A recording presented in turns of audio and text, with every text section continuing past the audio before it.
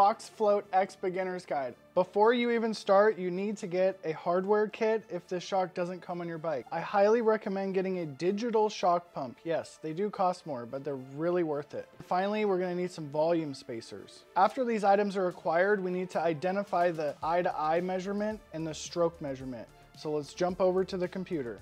There's a long number here on the shock, and we're gonna punch it into Fox. It's a 2022 Float X, and it comes off of a specialized Kenevo SL. There's a really great chart inside of the volume spacer bag. Use this to determine your maximum spacers. We want to identify how much you and the bike weigh. That's going to be the total system weight. It's about 275 pounds. So we're going to need to run a lot of volume spacers. I always like to run one short of the maximum, so we're going to run the big pink one. Screw the shock pump in. We're going to let all the air out of this shock slowly. Make sure all the air is out of the can. You could really hurt yourself here if it's not out. Get yourself over to Harbor Freight and buy one of these strap wrenches.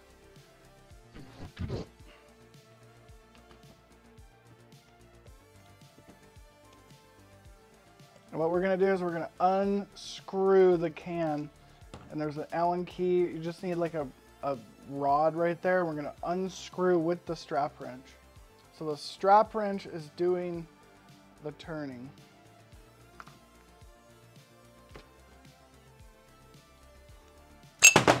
Don't do that. We're gonna take a picture of the orientation of the volume spacer installed and it looks like it's just off to the side of the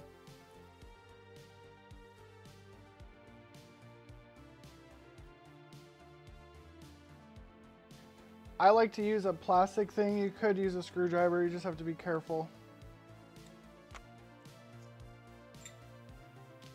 Okay, so they had a yellow one installed, not very much volume reduction. We got super big system weight, so we're gonna bump it up to almost maximum. So it says volume spacer, make sure the Fox logo's up, and we took a picture so we know that the orientation Okay, got the volume spacer in. Let's double check the picture. And I caught a couple threads and we're gonna screw that back on. Skip this step if your hardware is already installed. So you're gonna need to get a press set to put the bushings in. If this part is too difficult for you, you could just take it to a shop and they can press this in for probably 10, 20 bucks. Install the lower hardware, whatever that consists of. This is specialized high and low bracket. We pop that in. So stick the shock in the bike, grease the threads, put some Loctite on it if you're a rib big rider. So to get the shock bolt in, we want to lift the rear wheel up a little bit.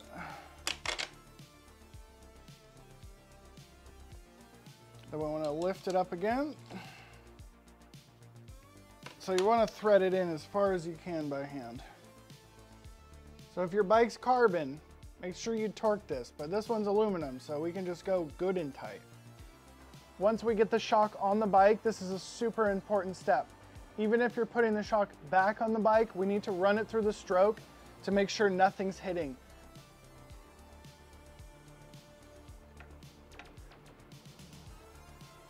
So it looks like nothing was hitting. So I'm gonna put some pressure on it. Now I'm gonna pump the shock up. I'm gonna go in 50 PSI increments and then cycle the shock.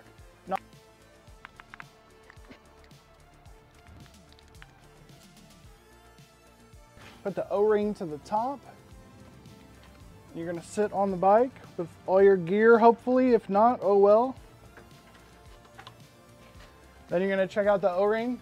That looks like about 30%. Should be good to ride. But if you really want to get technical, we'll start measuring. Okay, so we're gonna go for 19 millimeters.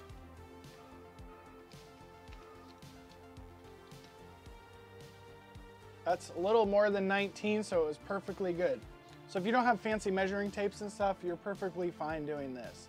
I got it super close without even measuring it.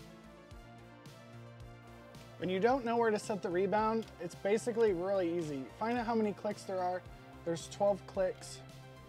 So we'll go to the middle. We'll go to the middle on six, and then we're gonna go too slow. You're way, you're way less likelier to eat shit with a slower rebound, so always start slow. Okay, we got the shock installed in the bike. I'm ready to go ride. I'm gonna bring the shock pump with me. And the reason I told you to get a digital one is because very small amount of air pressure in the shock will make it ride different. Hopefully this video was helpful for you.